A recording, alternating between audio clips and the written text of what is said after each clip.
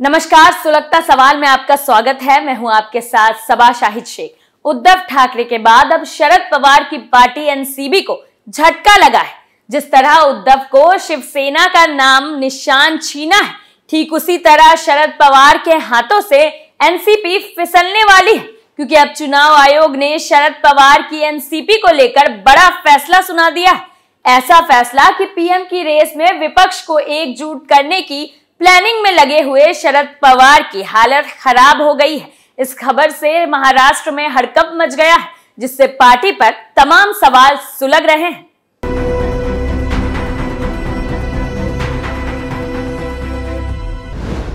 चुनाव आयोग ने क्यों लिया एनसीपी पर एक्शन क्या एनसीपी से छिनेगा राष्ट्रीय पार्टी का दर्जा?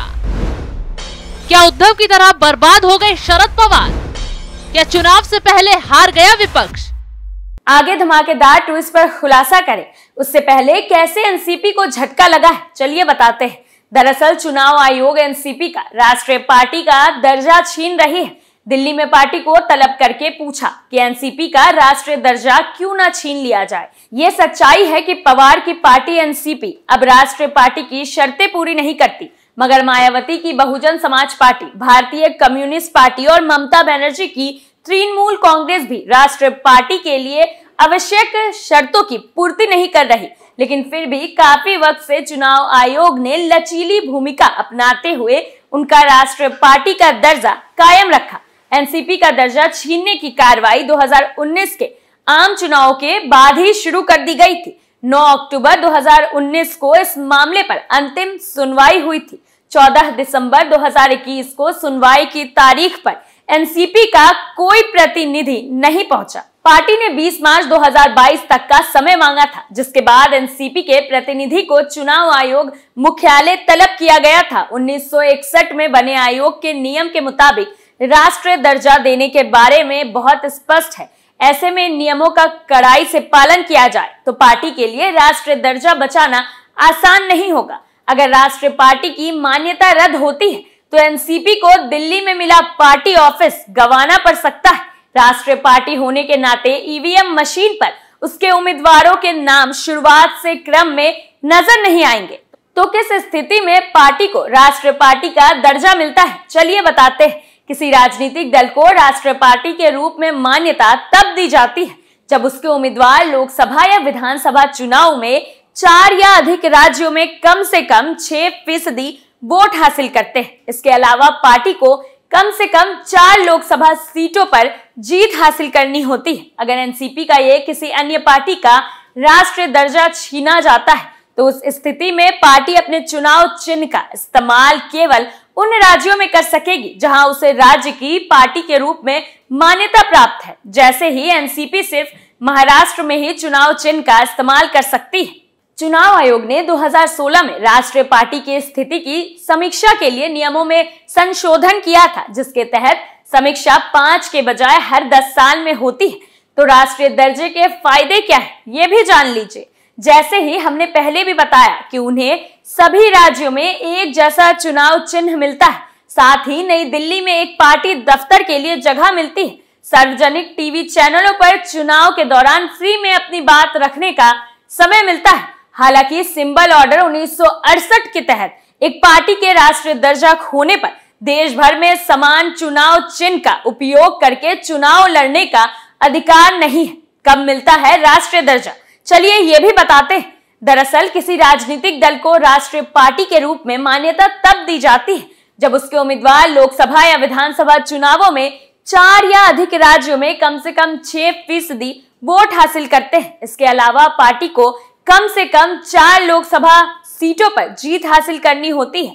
अगर एनसीपी का ये किसी अन्य पार्टी का राष्ट्रीय दर्जा छीना जाता है तो उस स्थिति में पार्टी अपने चुनाव चिन्ह का इस्तेमाल केवल उन राज्यों में कर सकेगी जहाँ उसे राज्य की पार्टी के रूप में मान्यता प्राप्त है।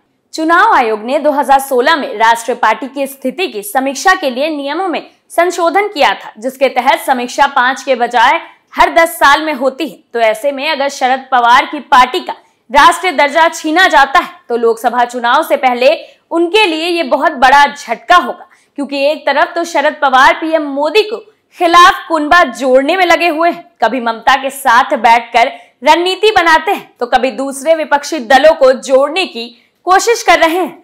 अब तो शरद पवार ने अपने घर पर विपक्षी नेताओं की बैठक भी बुलाई जहाँ लोकसभा चुनाव के लिए रणनीति बनाई जाएगी। साथ ही चुनाव से पहले ही ईवीएम मशीन के मुद्दे पर विपक्ष कैसे बवाल करेगा? इसको लेकर भी बातचीत होगी।